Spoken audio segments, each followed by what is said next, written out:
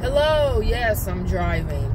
I don't like to do driving videos really anymore, but um, God put something in, in, my in my spirit, you guys. So I, I've been talking to a lot of people recently who um, are very burdened and heavy laden and like are reaching their breaking point. Um, see, I don't want to do a video like this. I need y'all to feel me. You know what I'm saying? I'm not trying to look cool with glasses and stuff on, but I'm also trying to drive. But anyway, um, they're burdened. They feel like if I take one more thing on to me, I'm going to break. Do you feel like that? Do you feel like that today? Coach V, been a long time. Um, so I myself have been feeling that way. And I'm like, Lord, I just I can't. I've took on an extra job. Um not a job. Let me rephrase that. A spiritual assignment. Because you know we're supposed to be fruitful and multiply. You know what you're doing with your talent. Did you bury your talent? You got a couple of streams of your talent. Multiply your gift. So I'm multiplying my gift, right? I'm now uh, adult education instructor.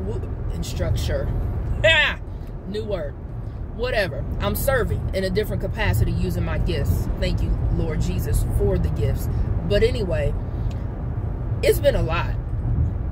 And when I say a lot, learning something new, um, education, whatever the case may be, if you are challenged, now you all know we're living in the last days and we are coming into the fullness of the Gentiles. Now, what that means is because we are under grace, under New Testament grace, under faith, um, we are saved by grace through faith.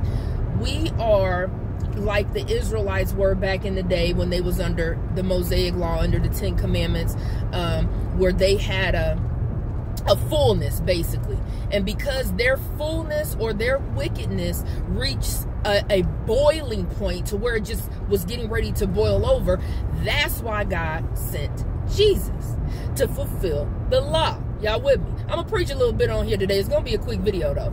So, um, now we are in the fullness of the Gentiles, okay? So the wickedness and the evil and the uh, uh, catastrophic events, the fires, the earthquakes, the floods, those things are reaching a fullness, a, boi a boiling point, if you will.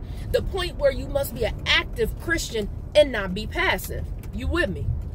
So, in this, the people who are bearing burdens, those who are called, who are in Christ Jesus, it is getting a little heavy for us. You know, you know, I'm talking like every day of the week I was having a headache. Like every day I had a headache, and I'm like, I ain't about to keep popping no pills. I, I you know, I, I'm just not a pill popper. I believe in the healing power of the Lord Jesus. So I was like, Lord, we're gonna have to do something with this. And my my brother Carlos Warner, what's up, bro? He gave me this scripture, and y'all gonna ask me. He he had told me, and I looked it up, but it was Jesus. Okay, I want to say it was Matthew 15. Don't quote me on it. I'm gonna have to post it, but um where Jesus said, you know, I have the power to pick up my life and I have the power to put it down. So as I was talking to the Lord, you know, we are called to pick up our cross, right? Pick up our cross and follow God. Now, what does that mean? Follow Jesus. What does that mean? It means to serve. It means to sacrifice our life and what we would do or what we would want to do for the calling of God, of service, love, and servanthood to this generation. So as I'm talking to God about this, right? The Holy Spirit, you know, I'm just in conversation with the Holy Spirit. And it's like, okay, how can one pick up their life and pick up their cross too? Follow me. Now I'm at a stopping point. Follow me. So if I'm called, if you called, if the body of Christians are called, if the soldiers and disciples of Jesus Christ are great commissionly called to pick up their cross and make more disciples and to follow Jesus, especially in the last days, how can we pick up our lives and carry the burden of our lives? Yeah, I don't know who that is. uh, one of them calls. How can we pick up our life and deal with our life and our burdens? Because Jesus said his yoke was easy, his burden is light. Why is my burden heavy? God said, because you keep picking up your life.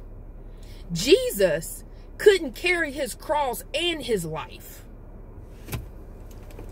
Who listening? Who listening today? Lord, give it to him. He couldn't pick up his cross and his life. He had to lay his life down to pick up his cross and do what God called him to do. He had to make a choice. A choice. Every day, we have to make a choice. Are we going to pick up the burden of our life and carry it on our backs like we ain't saved and we ain't got Jesus? And we trying to do everything in our power? Or are we going to go, here you go, Lord? Oh, no, no, no. The scripture says, cast it. You doing more like this. You casting your care on God because he cares for you. You throwing it over there like, I can't do it no more. You casting it because God's strength is made perfect in our weakness. Hallelujah. I had to realize that I was carrying too much, that I was picking up my life and worrying about all this going on instead of picking up my cross. God said, I got your life. You just pick up your cross and go do, do what I called you to do. I get so excited when I talk about the Lord. And I get, you know what I'm saying? You know, I'll be crying on videos. I'll be trying not to help it. I get so excited because his power and his anointing that he has given us, his strength, his yoke, his burden light, easy. Why are we heavy laden, beloved? My beautiful people, why? Cast your care upon the Lord today because he cares for you. You can't carry this. You ain't meant to be self-made and independent. You're meant to be dependent on the Spirit of God that resides in you if you're a believer. And if you're not a believer, this is a call to action. Because these days that we are living in now, God is calling on the passive Christians, the lukewarm Christians. It's time to put some fire in your belly.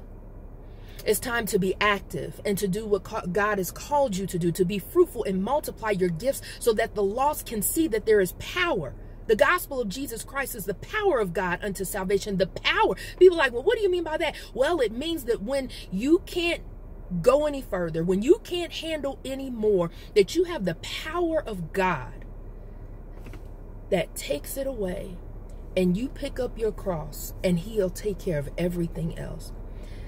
I believe that we are going into Jubilee. Now you'll have to you'll have to read this, and people may go, "How she know? Is she a pro?" I'm whatever God says that I am. But Jubilee is is a blessing of the Lord on His people. Those who are really close to Him, those who are connected with Him at the heart, those who knows know Him and He knows them. Those people. Today I got some news that a few things is going to be taken care of, not just one time not just two times, but three times. And I had to sit there and go, mm-hmm. I, I, called it as September 10th that we will walk into the year of Jubilee. And and see, like I said, don't don't test me on this. Is something I believe in my heart. I'm not saying it's a prophetic word from God. I'm saying that I was talking to God about it. Like, Lord, you know what? I think in September we about to go into some serious blessing. But see, the world is going to look opposite from the kingdom of God.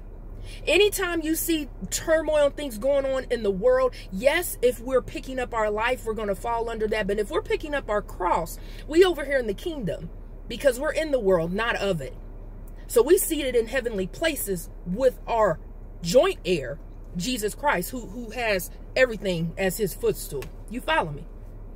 Be encouraged today, brothers and sisters, that there is power there is an encouragement. God will strengthen you, but you must pick up your cross instead of your life. Seems odd, but your faith will get you through. Are you ready? It's September 1st. I just realized that. September 1st. Well, and then people will text me, mm-hmm. Ah. Mm, mm, mm, mm. I hope this word sows a seed in you today because God will water it and it will produce growth. Use your gifts. Do not be passive anymore in your faith. This is a call to be active and to start this season of life. It is a new season. It's a new month, but we're going into a new season. You see everything that's going on. You look at the news. Look at everything that's going on. Don't be naive, be wise. Wisdom is the fear of the Lord, and understanding is to depart from evil. Understand this.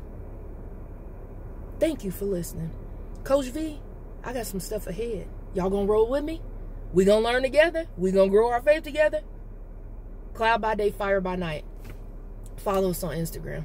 Me. It's not us. Well, it's us. It's an army. It's Kingdom Army. Follow me on Instagram if you if you wish. But this is mainly just to sow a seed of encouragement and power and a call to action to you today. Happy September. God bless. Love you guys. Coach V. Peace.